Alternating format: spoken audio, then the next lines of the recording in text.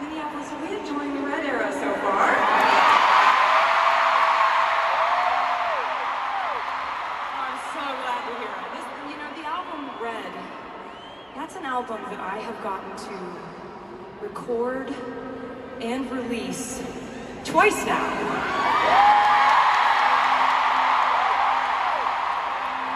And the reason, the reason for that being that ever since I was a teenager and I started writing my own songs, it was always, it was always my ultimate goal to one day own my work, own my art, own my music.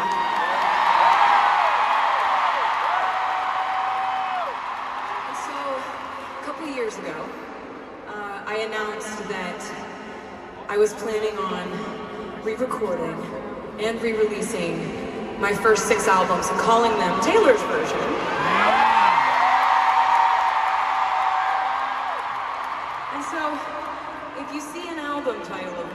You see in parentheses Taylor's version next to it, that means that I own that album or I own that song, and that means that I'm happy.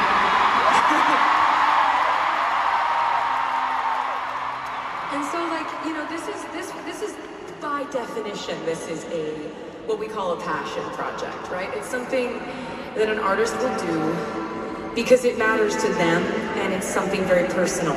Um, I went into it without any expectations. I went into it without any demands.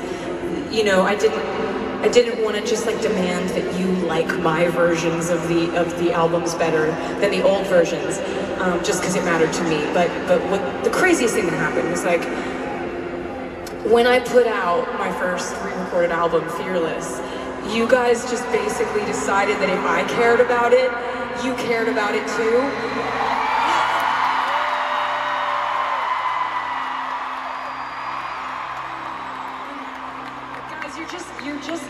Never gonna be able to know how much that mattered to me. I'm gonna keep saying thank you for it for the rest of my life, but you'll just I'll never be able to verbalize my my gratitude for that. It's it's just you've been so incredibly generous with your care for me, and I um I'm really excited. We actually have um uh I have one coming out in like two weeks. Is this week